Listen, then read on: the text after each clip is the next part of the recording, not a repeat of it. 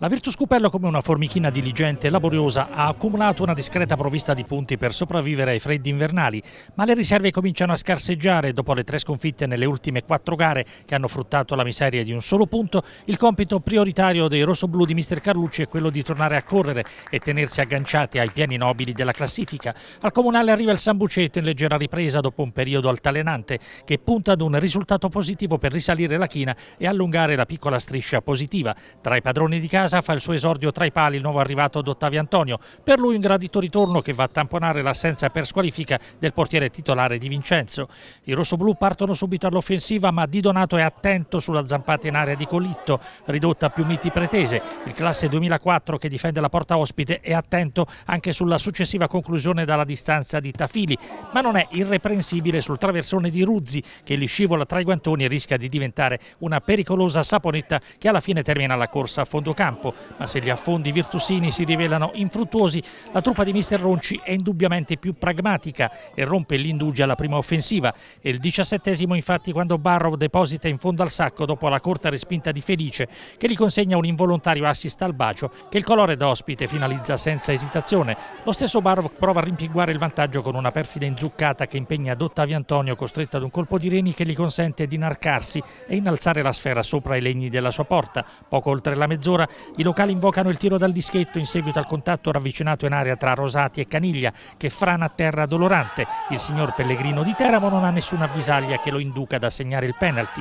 I ragazzi di Carlucci cercano di chiudere la frazione rientrando in carreggiata, ma il tiro di Margagliotti che va alla conclusione accentrandosi dalla sinistra si spegne sopra i legni di Di Donato, mentre Felice va a segno pochi minuti dopo con l'assistente di linea che sbandiera una posizione irregolare del difensore cupellese e non convalida la segnatura tra le vibranti proteste del pubblico di casa.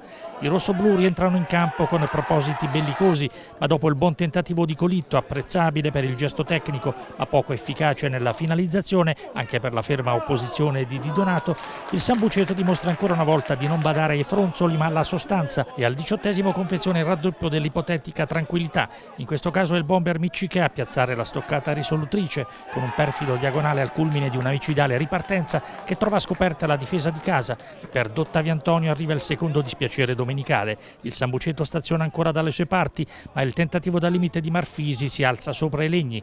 Margagliotti prova a reagire con con una soluzione su palla inattiva, ma il giovane estremo viola non si fa irretire e disinnesca il pericolo. Poco dopo l'assistente richiama l'attenzione dell'arbitro che allontana il dirigente accompagnatore Battista. I padroni di casa non si perdono d'animo e pur se in una delle giornate meno brillanti dell'avvio stagionale non lesinano impegno. Dopo il tentativo fallito da Conti che tenta il numero in rovesciata ma deve fare i conti con l'estremo rivale, arriva il secondo episodio da Moviola con la squadra di casa che invoca in vano un nuovo tiro dal dischetto per il presunto intervento con un braccio da parte di Rosati in traiettoria sul tiro di Colitto, ma anche stavolta il fischietto teramano è di tutt'altra nostra opinione.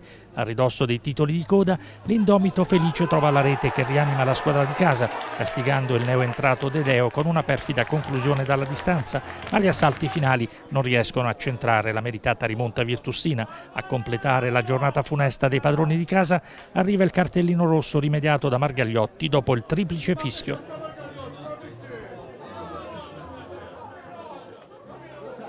Mister Carlucci è arrivata la quarta sconfitta in cinque gare, eh, fortunatamente avevate accumulato un buon eh, bottino all'inizio della stagione, oggi è una partita emblematica delle vostre difficoltà, non è riuscito neanche a fare i cambi.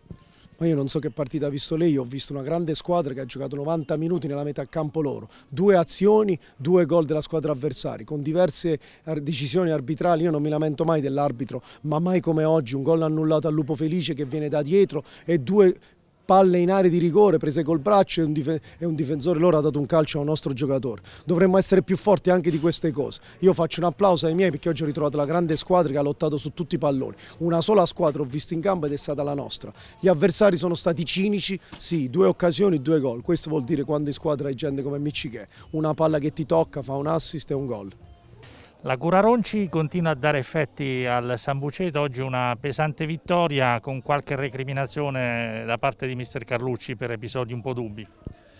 Vabbè, se ci lamentiamo degli arbitri possiamo farlo anche noi perché l'espulsione di Marinelli era netta, comitata sul nostro giocatore, l'arbitro lo vede, fischia non viene manca monito, quello è rosso diretto, però non, non, per me non, è, non, ha senso parlare degli arbitri in questo momento. Lui probabilmente ha ritrovato la sua squadra perché sentivo che diceva così, ma io continuo a ringraziare questi ragazzi perché da un, due o tre settimane è cambiato qualcosa sotto l'aspetto della mentalità, sotto l'aspetto del sacrificio, dell'impegno. mi dispiace per il gol subito perché ci tenevamo tantissimo tantissimo a non prendere gol oggi, eh, però l'abbiamo preso, eh, siamo stati bravi a tenere duro fino alla fine.